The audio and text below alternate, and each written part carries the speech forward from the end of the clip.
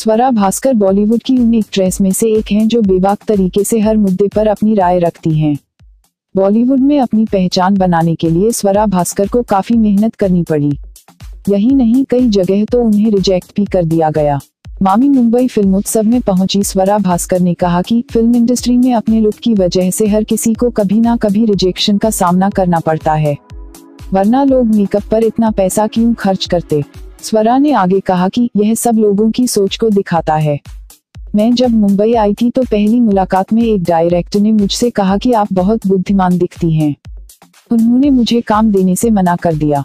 मैं इसका मतलब नहीं समझ पाई हूँ। अब मैं ऐसी बातों पर ध्यान नहीं देती हूँ और केवल अपने काम से मतलब रखती हूँ। वक फ्रंट की बात करें तो स्वरा भास्कर की आखिरी फ़िल्म वीरे दी वेडिंग रिलीज़ हुई थी। इस फ़िल्म ने बॉक्स ऑफ़िस पर अच्छी कमाई की थी।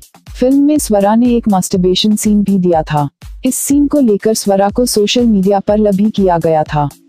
फ़िल्म में स्वरा भास्कर के साथ करीना कपूर, सोनम कपूर और शिखा तसानिया मुख्य भूमिका में थी।